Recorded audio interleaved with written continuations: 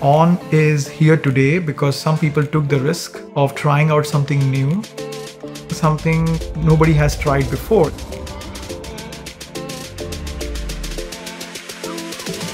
We have the space for innovation, for growth, and we're able to try things and, and allowed to, to fail at things.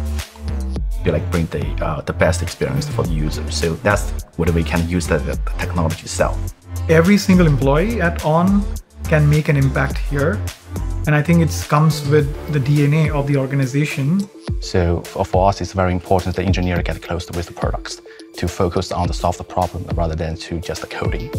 We're split across Berlin and Zurich, and we have many different nationalities. Talking to them, you get different backgrounds and also different styles of thinking, which, which actually helps us a lot to approach problems from different perspectives and, and find the best solution.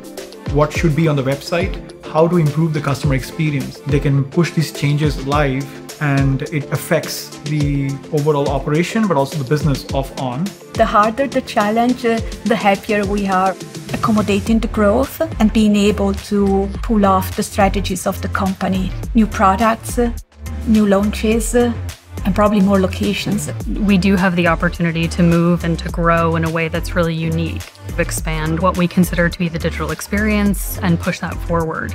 We are building things that perhaps will go out in next two, three, four, six, maybe sometimes in a year. We are living in the future of On.